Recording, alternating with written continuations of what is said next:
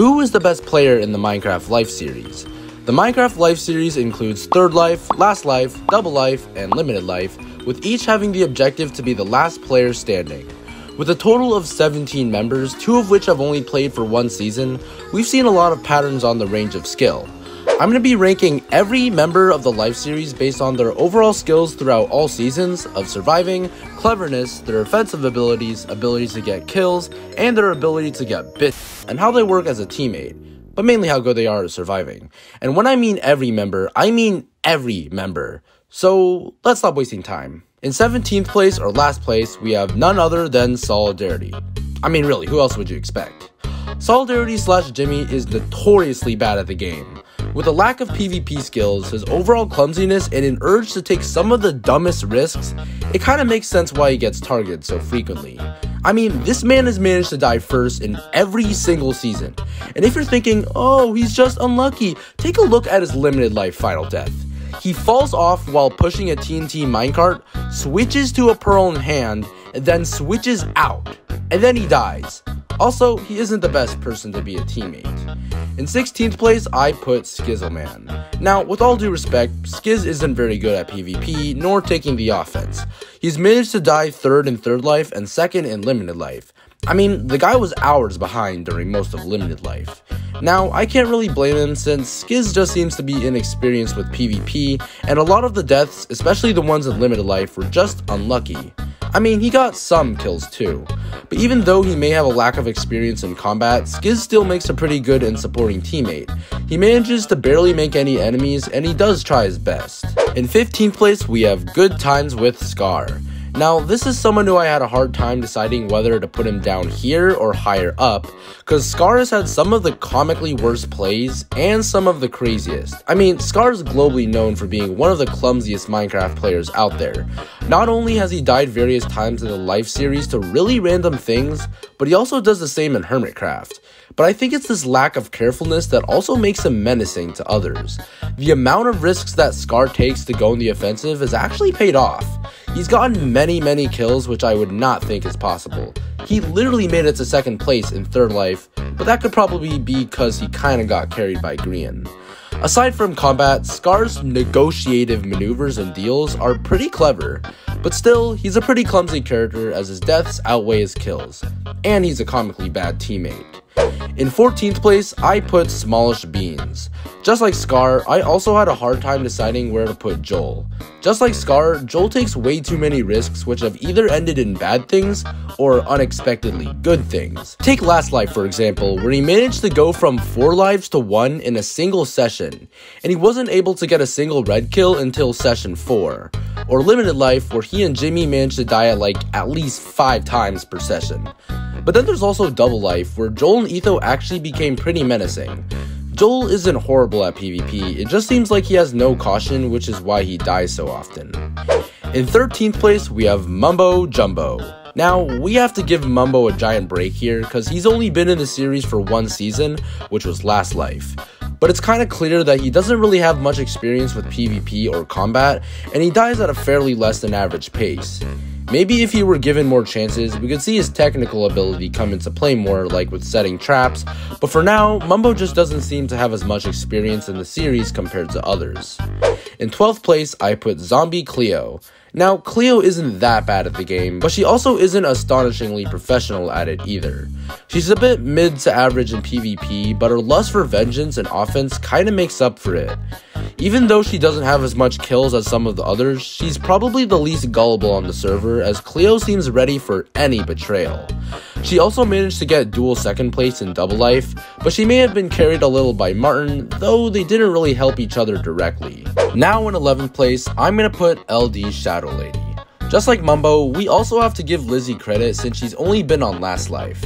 It seems like she doesn't have much experience with PvP, but she also seems to be kinda good at not dying too often. Probably because she doesn't make too many enemies, since throughout the server she's made many deals or negotiations with people, similar to Scar. But again, her lack of experience compared to the other lifers gives her a big disadvantage. In 10th place, I put TangoTek. Tango isn't the best at keeping lives, especially towards the final sessions.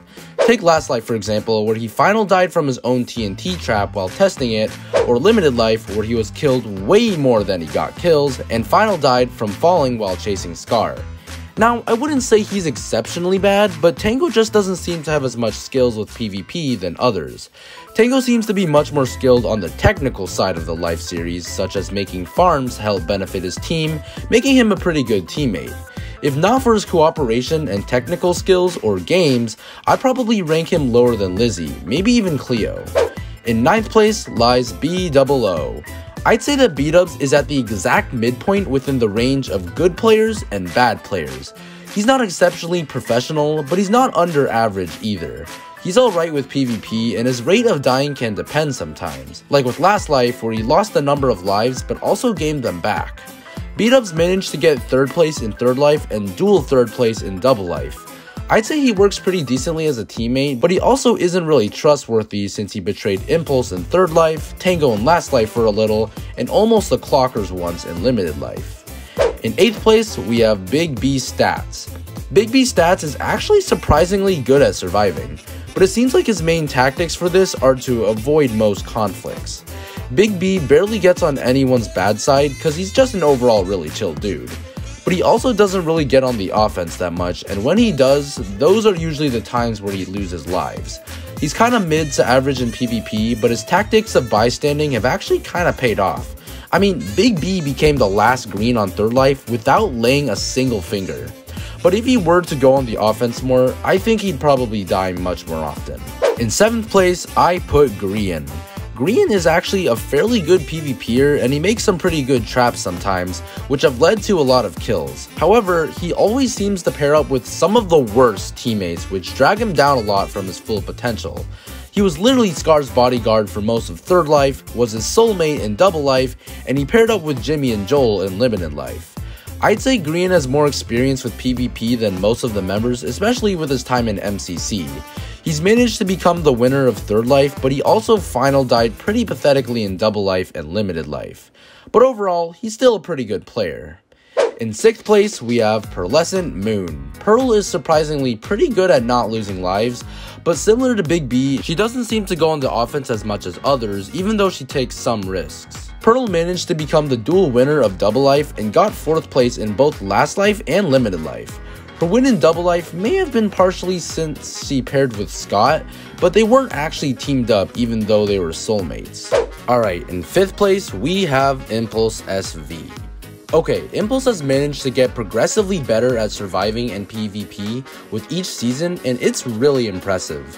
In Third Life, he was kinda average, but in Last Life and Double Life, he got better, and in Limited Life, he actually kinda popped off.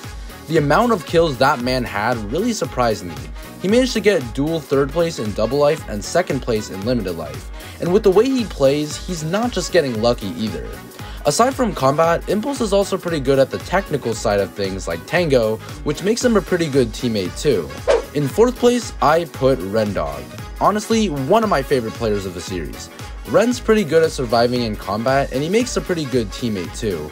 His ability to go on the offense and his lust for vengeance makes him kinda menacing to other players. He's literally managed to lead half the server of Third Life and got second place in Last Life. It seems like Ren focuses more on the storyline aspect of things though, but he's still able to intertwine it with the actual gameplay and combat. In third place, we have Ethos Lab, one of the most menacing players to the others. Ethos has been pretty good at surviving for most of the seasons, and he's pretty good at PvP too. I can see why a lot of the others could be scared of him. However, he did kind of fall off in limited life, but that could be because of the clockers. And even then, he still managed to get 5th place in limited life. He's also gotten some pretty good kills with Joel in double life. Aside from combat, Etho is an automation and redstone weapon, which makes him a pretty good teammate. And then there were two. In second place, we have none other than In the Littlewood. Martin is undoubtedly cracked at PvP, especially compared to everyone else in the series. Aside from limited life, he's managed to stay with a consistent number of lives for most of the sessions and his offensive abilities are really impressive.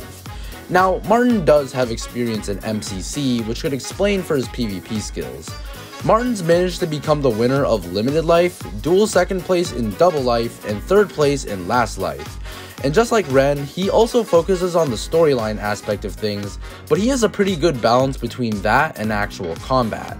I would not want to mess with Martin on any day. And finally, we have our last member, the one who may be the best player of the Life series. In first place lies the one and only Scott Major. Okay, is this really a surprise though? Scott is undoubtedly crazy and cracked with PvP. Being the literal co host of MCC, his experience is off the charts. Scott has managed to become the winner of Last Life, dual winner of Double Life, and third place in Limited Life. I mean, we can't forget his killing rampage in Limited Life. He's managed to stay at a consistent number of lives throughout each season and with hours in Limited Life. Most of the times where Scott actually dies is because he gives his lives or hours to other players. I like that he doesn't just survive for himself, but he helps out others too. Now, Scott doesn't really participate in the improvised storyline aspects of things, which I know a lot of people are kind of mad about, but personally, I don't think he has to, since anything that happens, happens. But this man is undoubtedly a PvP titan. And there we have it, all 17 members of the Life series ranked. I don't mean any hate to any of the players, I love them all, and I'm aware that it's just for fun. Now, this ranking is mainly my opinion, so I'd like to hear how you guys would rank each member. Do you agree with this list, or do you disagree? Let me know in the comments. If you enjoyed this video, you might want to subscribe because I make content just like this. I'm planning to make a video addressing Hermitcraft's major absence this season, so stay tuned. Anyways, I hope you enjoyed, and I'll see you in the next one. Take care, everyone!